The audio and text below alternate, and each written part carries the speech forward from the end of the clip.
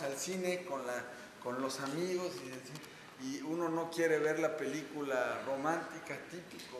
No, yo no quiero ver película romántica, mi esposa no quiere ver película, este, película de acción y aventura y acaban viendo una comedia malísima porque fueron por el voto negativo los dos. Ese, eso, por eso el indeciso no existe, el indeciso es muy difícil de encontrar. Todos tenemos por lo menos una, una inclinación. Hay un segmento en la población, y con esto también hablar del indeciso, hay un pequeño segmento en la población que sí tiene indecisión, que sí está leyendo su voto y compara las propuestas, ¿no? los académicos, algunos periodistas y tal, pero es un segmento muy chiquito, 3, 4%, no es la gran masa que nos va a hacer ganar o perder una elección.